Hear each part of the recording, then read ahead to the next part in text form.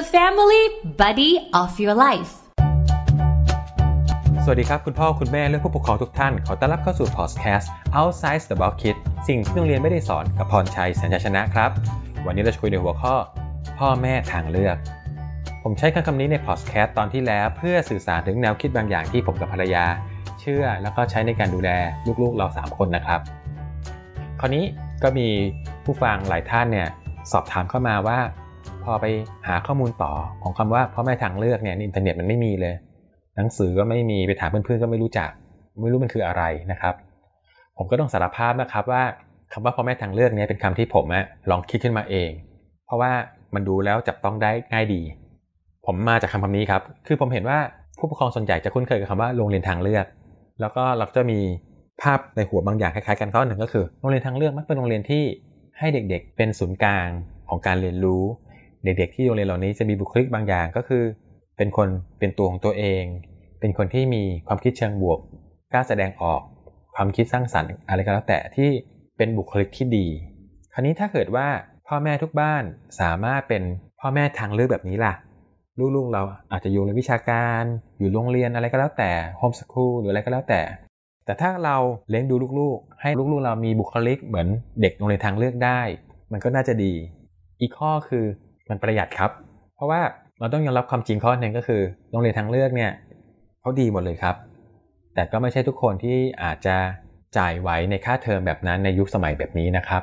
และอีกข้อหนึ่งก็คือเด็กๆเนี่ยเขาอยู่โรงเรียนแค่หนึ่งในสามของวันอย่างที่ผมเคยบอกไปแต่ก่อนหน้านี้นะครับเด็กอยู่โรงเรียนแค่เจ็ดแปดชั่วโมงที่เหลือก็อยู่กับคุณพ่อคุณแม่อยู่ที่บ้านเสาร์อาทิตย์ก็อยู่ที่บ้าน นั่นแปลว่าจริง ๆ แล้วว่าช่วงชีวิตวัยเด็กเนี่ยเขาอยู่บ้านมากกว่าอยู่โรงเรียนนะครับ เพราะฉะนั้นเนี่ยการที่ทำให้สถาบันครอบครัว หรือในบ้านเนี่ยมีบรรยากาศของเป็นพ่อแม่ทางเลือกเนี่ยผมก็เชื่อว่ามันน่าจะได้ประโยชน์ไม่น้อยทีเดียวไปกว่าการที่เด็กๆอยู่ในทางเลือก เพราะ 2 ใน 3 ของเด็กอยู่ที่บ้านเรานะครับ ถ้าเราทำได้เด็กๆก็น่าจะมีบุคลิกที่น่าสนใจเหมือนเด็กๆที่อยู่ในทางเลือก คราวนี้เรามาลงรายละเอียดครับว่า ถ้าทุกคนเชื่อว่าโอเคนั่นเรามาเป็นพ่อแม่ทางเลือกกันเถอะ แล้วเราจะเริ่มต้นยังไง อันนี้นะครับพอดแคสต์นี้เราจะมาลงรายละเอียดให้ฟัง อย่างที่ผมเคยบอกครั้งแรกเหมือนกันนะครับว่า ผมกับภรรยาก็ให้ลูกๆ เรียนโรงเรียนวิชาการครับ แต่เราอะตั้งใจว่าเราจะเป็นพ่อแม่ทางเลือก ด้วยความเชื่อแบบเมื่อกี้แหละว่าคือเสาร์อาทิตย์ลูกๆก็อยู่กับเรา ลูกอยู่โรงเรียนแค่เจ็ดแปดชั่วโมงต่อวันที่เหลือก็อยู่กับเรา เพราะฉะนั้นถ้าเกิดเราเป็นพ่อแม่ทางเลือกได้ มันก็น่าจะดีต่อลูกของเราเองนะครับ เราก็เลยเป็นพ่อแม่ทางเลือกคำว่าทางเลือกในความหมายที่ผมกับภรรยามองไว้คืออย่างนี้ครับ คือเราให้ลูกๆมีสิทธิ์เลือกที่จะมีบุคลิก นิสัยความฝันในแบบของตัวเองครับ คือเราไม่เอาความฝันของเราวัยเด็กที่เราทำไม่ได้ เราอยากได้อยากมี แล้วณวันนั้นเนี่ยจะด้วยอะไรแล้วแต่ทำให้เราไม่สามารถเข้าถึงตรงนั้นได้มายัดใส่กับลูก เพราะฉะนั้นเนี่ยเราก็จะให้ลูกได้ลองคิด หรือมีโอกาสให้เขาแสดงความเห็นว่าเขาชอบไม่ชอบในทุกๆเรื่องชีวิตนะครับ ไม่ว่าจะเป็นเรื่องของกิจกรรมที่เขาอยากจะต้องทำนะครับ ไม่ว่าจะเป็นดนตรีกีฬาศิลปะเขาอยากทำอะไรกันแน่ บ้านผมก็ไม่ได้แบบว่าลูกๆทุกคนต้องเรียนเปียโนนะครับ เราจะถามลูกก่อนว่าดนตรีมันดี แล้วก็ให้เขาไปลองดูว่าในการดนตรีเนี่ยเขาจะชอบอะไรนะครับจะกีตาร์อะคูเลเล่ตีกอง อันนี้ก็แล้วแต่ ซึ่งท้ายสุดลูกผม 3 คน ก็เลือกเครื่องดนตรีไม่มีกันสักคนเลยนะครับ เพราะว่าเขามีโอกาสได้เลือกเป็นต้น อันที่ 2 ก็คือนอกจากให้เด็กๆได้มีสิทธิ์เลือกแล้ว เราก็ให้เด็กมีสิทธิ์ที่จะบอกได้ว่าอะไรที่เขาถนัด และเขาอยากเรียนอะไรที่เขาไม่ถนัด เพื่อที่ว่าเราอาจจะไม่ได้ต้องไปกดดันเขามากนักนะครับ อย่างเช่น เด็กบางคนอาจจะชำนาญวิชาคำนวณ วิทยาศาสตร์ แล้วเขาชอบด้วยนะครับ เราก็จะส่งเสริมให้เขา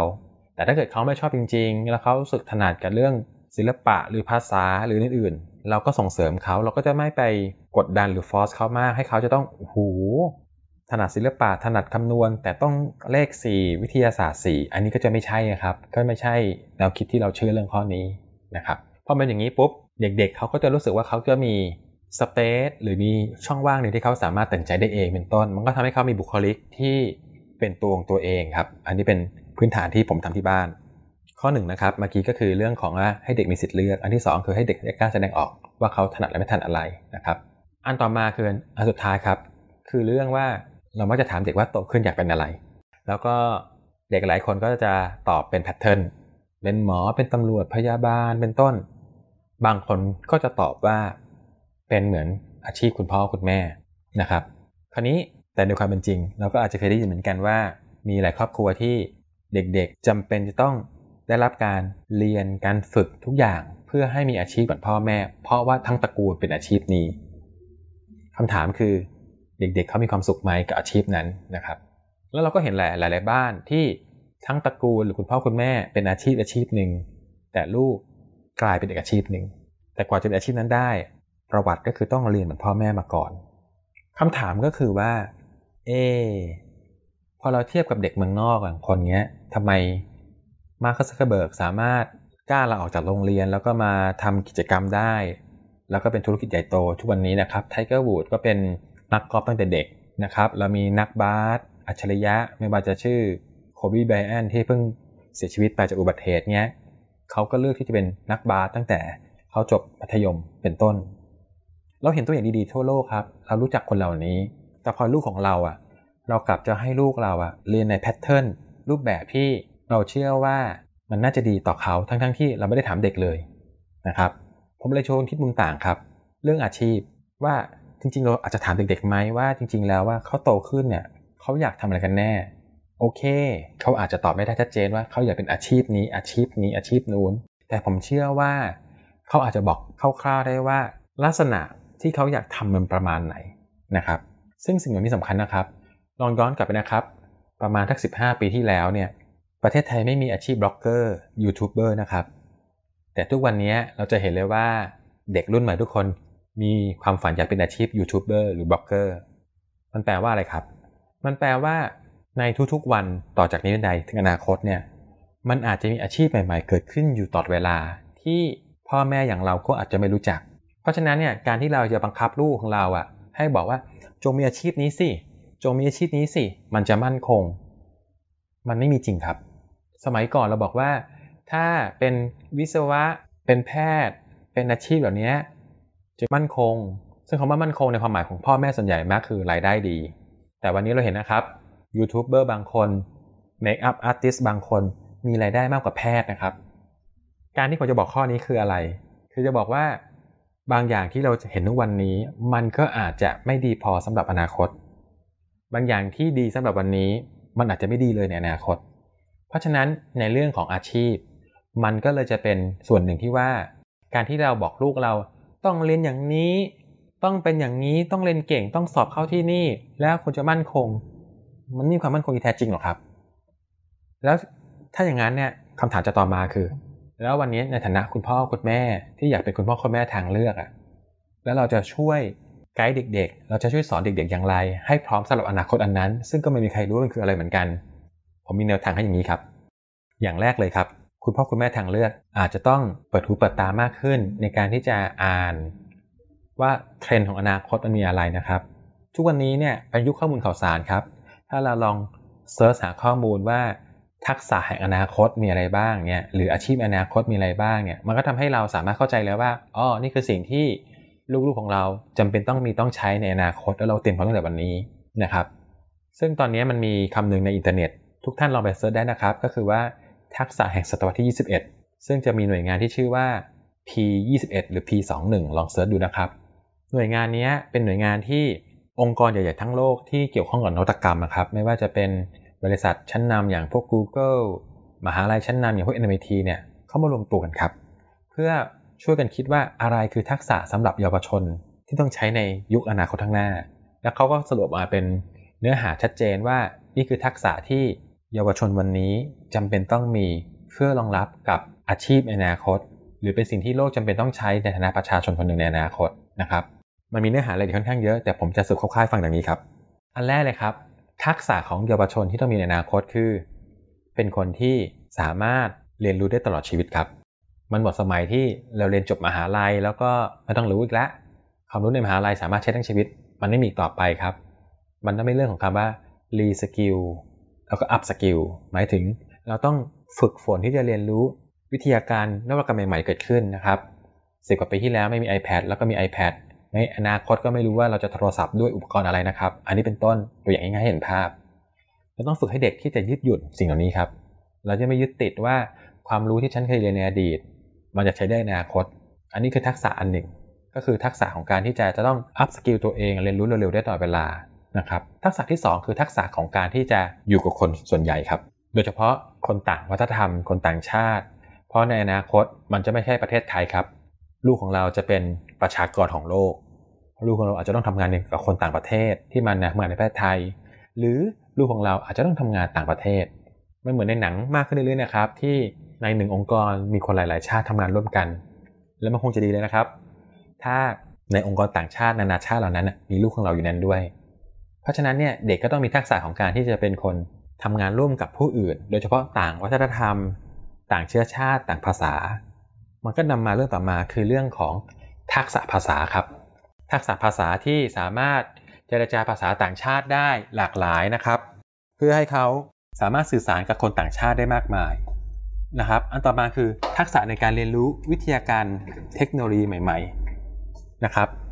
ก็คือว่าประเภท ว่าเมื่อวานเราไม่มีอินเทอร์เน็ตความเร็วสูงขนาดนี้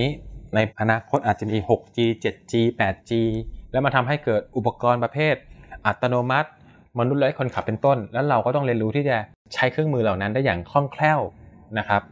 ไม่ใช่ว่าพอมีอุปกรณ์ออกมาออกมา แล้วเราไม่รู้มันทำงานได้ยังไง เหมือนคนตกยุคตกสมัยทุกเทคโนโลยีอันนี้ก็จะไม่ได้ อันนี้เป็นต้น ผมพกคร่าวๆประมาณนี้นะครับ ลองหาในรายละเอียดของในคำว่าทักษะแห่งศตวรรษที่ 21 นะครับ แล้วถ้าเกิดลูกๆของเราถูกฝึกด้วยทักษะเหล่านี้นะครับ โดยคุณพ่อคุณแม่นะครับ ว่าให้ลูกเป็นคนที่ยืดหยุ่นกับคนอื่น ไม่ว่าต่างความคิดต่างเชื้อชาติภาษา การที่ให้ลูกของเราสามารถเรียนรู้เทคโนโลยีอย่างรวดเร็ว ให้ลูกเราเป็นคนที่จะใฝ่รู้อยู่เรื่อยๆ ผมมั่นใจครับ ในอนาคต ไม่ว่าโลกจะมีอาชีพอะไรใหม่ ๆ ออกมา มีคณะในมหาวิทยาลัยใหม่ ๆ ออกมา ลูกๆของเรา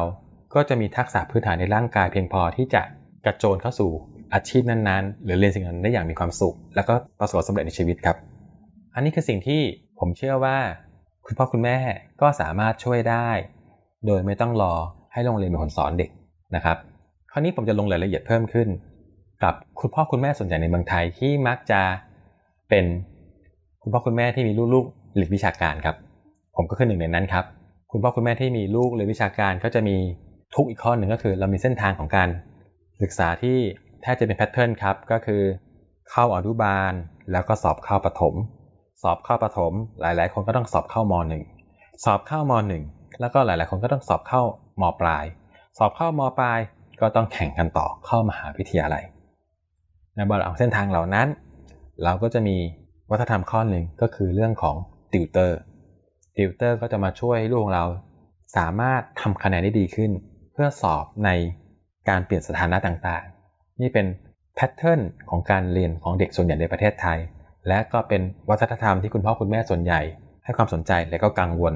ลูกคะแนนไม่ดีอะไรไม่ดีนะครับ คราวนี้หากเราเป็นพ่อแม่ทางเลือก แล้วลูกเราอยู่ในวิชาการแบบนี้เราจะทำอย่างไร หลายๆคนเข้าไปโรงเรียนวิชาการ เพราะรู้สึกว่าตัวเองอะจำใจต้องเข้าไปแล้วก็ไม่ค่อยเห็นดีเห็นงามกับโรงเรียนวิชาการเท่าไหร่นัก เพราะฉะนั้นก็จะเกิดอาการประเภทว่า ลูกฉันเรียนวิชาการ แต่ฉันน่ะอยากจะเป็นพ่อแม่ยุคใหม่ เพราะฉะนั้นฉันก็จะปล่อยปล่อยบ้างคำว่าปล่อยปล่อยบ้างก็นำมาซึ่งเด็กบางคนอาจจะไม่ได้ส่งกันบ้านครบ เด็กบางคนอาจจะไม่ได้ทำรายงานกลุ่ม หรืองานกลุ่มกับเพื่อนๆเลย เพราะพ่อแม่ไม่ได้เข้าไปดูแลนะครับ แล้วมันทำให้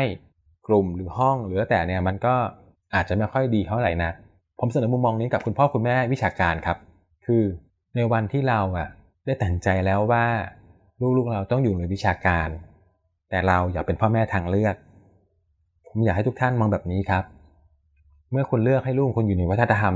ที่ต้องมีการส่งกันบ้าน มีเกี่ยวข้องกับรายงานกลุ่ม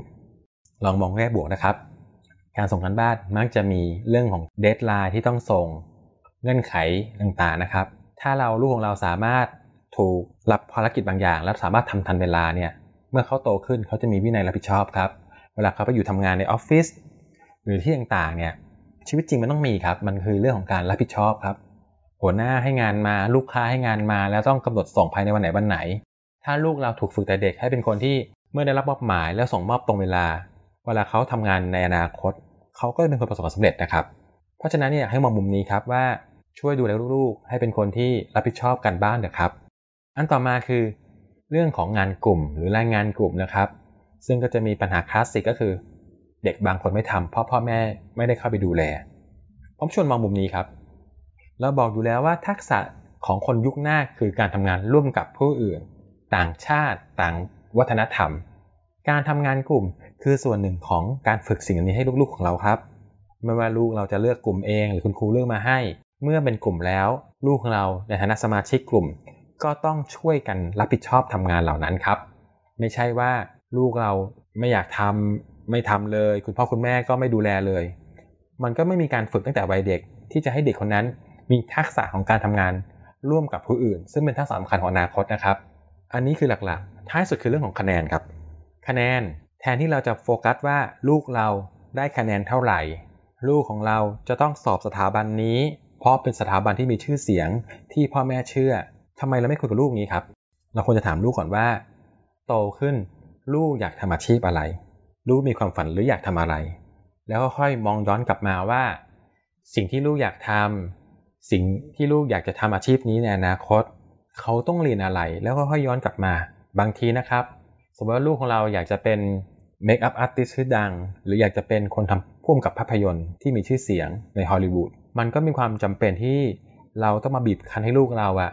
เรียนติววิชาคำนวณวิทยาศาสตร์จริงไหมครับ เราก็อาจจะฝึกให้ลูกของเราเป็นคนที่ดู Netflix ดูภาพยนตร์ หัดคิด หัดวิจารณ์ หัดเรียนเรื่องศิลปะไปแทนนะครับ เด็กก็มีความสุขครับ แล้วเขาก็ถูกฝึกตั้งแต่เด็กให้เขามีทักษะที่เพียงพร้อมแบบเป็นอาชีพในอนาคตเป็นต้น แต่ถ้าเกิดเราไม่ถามเด็กเลย แล้วเราก็บอกให้ลูกเราเรียนวิทยาศาสตร์ ต้องมาเรียนกับติวเตอร์คนนี้เรียนถึงสามทุ่มเพราะลูกเราเลยไม่เก่งเราเรียนอัดเสาร์อาทิตย์ไปอีกเพราะให้ลูกเราเรียนให้เก่ง ท้ายสุดโอเคครับ ลูกของเราอาจจะสอบได้คะแนนโอเค ประมาณหนึ่งแล้วสอบผ่าน แต่ลูกเราไม่ได้ใช้สิ่งที่เขาติวทั้งชีวิต เพื่อทำอาชีพของเขาเลยนะครับ ท้ายสุดนี้ผมก็เลยอยากจะเสนอว่า หากคุณพ่อคุณแม่ที่มีลูกอยู่ในวิชาการนะครับ ลองหาเวลาให้ลูกๆ เราได้ฝึกทักษะ ดนตรีกีฬาศิลปะอะไรก็ได้ครับ ที่ลูกคนรู้สึกดี ให้เขาได้เวลาฝึกอย่างจริงจังประมาณหนึ่ง ก็เป็นการหนึ่งในการเตรียมพร้อมให้ลูกเรา มีทักษะในการเจอผู้คนในอนาคตนะครับ และสำหรับพ่อแม่หลาย ๆ ท่านที่อยากเป็นพ่อแม่ทางเลือกนะครับ อย่างที่ผมย้ำไปแล้วก็คือมี 3 อย่างครับ คือลองหาความรู้เกี่ยวกับทิศทางอนาคตเป็นเทรนอะไร แล้วก็มาฝึกลูกเราให้มีทักษะที่พร้อมสำหรับอนาคต เป็นคนที่มีจิตใจเปิดกว้าง ฟังความเห็นที่แตกต่าง ความฝันที่แตกต่างของลูกเราที่อาจจะไม่เหมือนที่เราคิด และท้ายสุด เราจะเป็นเพื่อนเคียงข้างลูกครับ ไม่ว่าลูกจะตัดใจอะไรก็ตาม เราก็จะอยู่เคียงข้างเขาเสมอ เป็นกำลังใจให้เขา เป็นคอยประคองเขา ที่ล้มแล้วลุกขึ้นมาอีกครั้ง หากท่านทำสิ่งเหล่านี้ได้นะครับ พ่อแม่ทางเลือกก็จะเป็นสิ่งหนึ่งที่คุณมอบให้กับลูกๆ ทุกคนในบ้านได้สำหรับพอดแคสต์ครั้งนี้ ผมก็ขอจบเพียงเท่านี้นะครับ แล้วเจอกันในพอดแคสต์ต่อไปนะครับ สวัสดีครับ